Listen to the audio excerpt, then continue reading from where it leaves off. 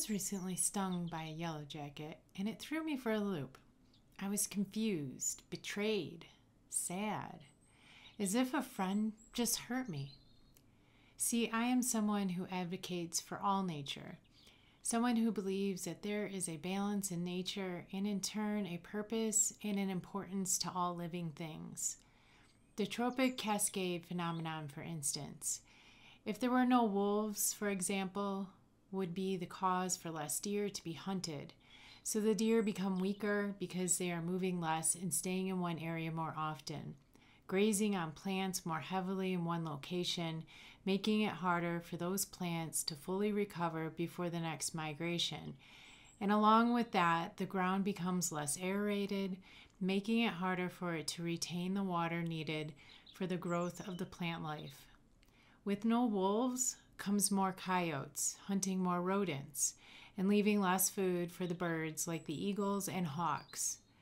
One little piece of the puzzle and it impacts everything around it, much like a cascading waterfall. It starts out a calm stream, but as it nears the edge, it starts to rage with energy. Once over the edge, it makes its way to the rocks below it, and with its turbulent force, it splinters a boulder, causing the water to split and form more waterfalls. And now those waterfalls affect the things below it, creating a cascading or rippling effect all around it. That is how all living things live. We think we do something and it only affects what our eyes can see, but it has the ability to affect everything. So I believe there is a purpose to all nature. Nature does things to survive. They don't kill for sport, they kill to put food on the table. They aren't blatantly mean for no reason. They are mean because they feel threatened for some reason, or because they are hungry. That brings me back to my bee sting.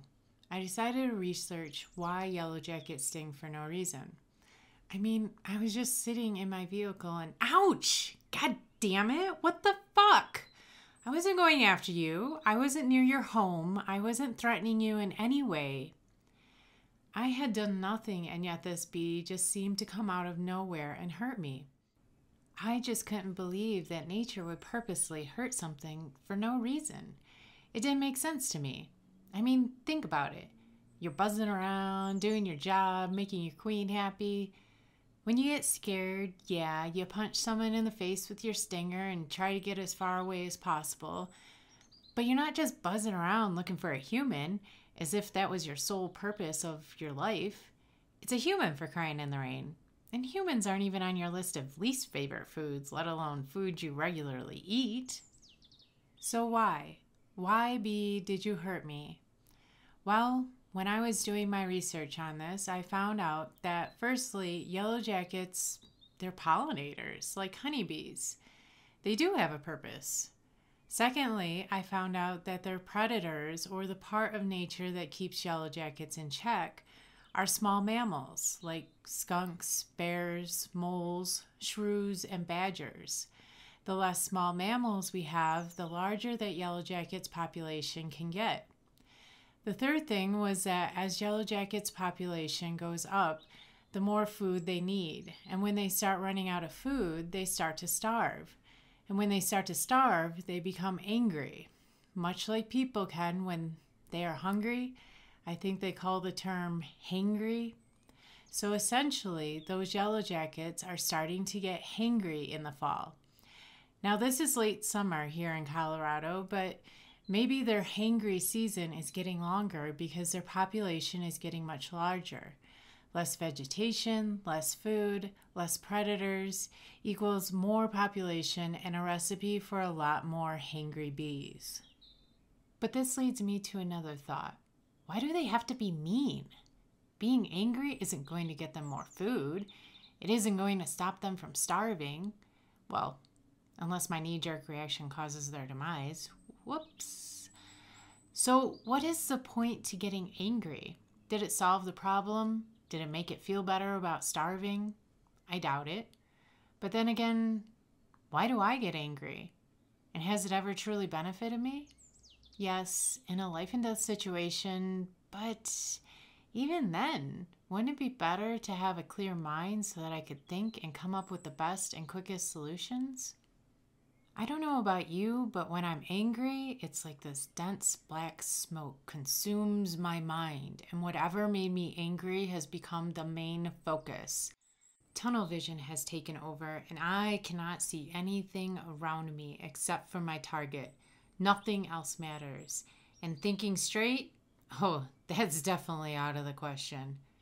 That, my friends, has always led me to do and say things I have regretted. So why get angry? Someone doesn't see things the way I do, doesn't live the way I do, doesn't agree with me. How will anger change those things? Have you ever gotten angry at someone and your anger magically changed the situation in your favor? Have you ever gotten so mad that it changed someone's personality before your eyes? How has anger truly benefited me? For most things, it hasn't. As a matter of fact, it has caused most bad things in my life, whether it was directed at me or vice versa.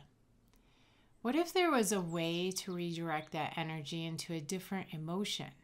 What if we could write new code in our consciousness that redirects the energy into an area we can make more use of? Instead of certain situations infuriating me into a state of rewind and replay, I channel that energy into creating. It becomes my muse, I controlling it instead of it controlling me. In lieu of anger, which usually only attracts negativity, like flies to shit, I move that energy into a place that inspires something good. Maybe I channel that energy into my motivation to work out. That in turn helps me to stay physically healthy in more ways than one. Maybe I move the path of the energy into the ability to create an invention that changes the world, the future, for the better. I know there are probably many out there that believe we have to get angry. But do we? Do I? But if you let anger fester and build up, it will only create disease. You have to get it out. Sure, but why can't we transform or evolve that energy into coming out of us as something more productive that creates a better outcome for us and those around us? First, I need to explore myself. When am I getting angry? What is making me angry? How much of my day do I spend being angry? How many days a week? How many months a year? And what good has it done? How many people has it changed for the better? How has the world become better for it? Was it wasted energy and wasted time? For me, a lot of it is. There are so many other things I could have used that energy towards writing, painting, working out, creating, learning. Stop! Ugh! Oh, I'm so angry. Why am I getting angry?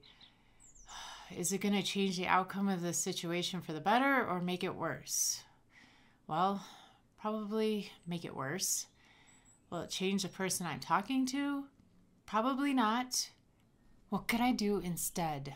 Where could I move that energy that would create something better? energy rerouted to focus, motivation, and inspiration, taking me into the shoes of someone who experiences peace and happiness more often Someone whose anger count is at an all time low because it is only needed in extreme situations. But maybe not even then, because I think I might prefer strength and wisdom in most cases. Did that yellow jacket sting me because it was hangry? It seems very possible, as much as I don't want to believe it. Did being hangry get him food? Then why not evolve and put that energy to better use? Well, maybe I need to take a dose of my own medicine. Maybe I'm part of that trophic cascade phenomenon. If I change me for the better, it will have a trickle down effect to those around me and nature, which eventually, whatever energy I'm perpetuating, will find its way full circle back to myself. Remember, energy never ceases to exist, it just moves from one thing to the next. How I am as a person, my personality, and how I live has a cascading effect to those around me, which affects those around them. And it just keeps going.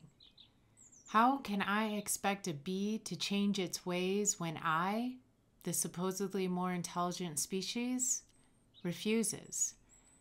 My change for the better will hopefully create a new cascade of positive energy where we can explore a world one day that has found more balance, less anger, and more peace.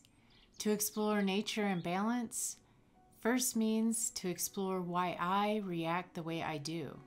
How can I channel my negative energy into something positive? Well, the possibilities are endless.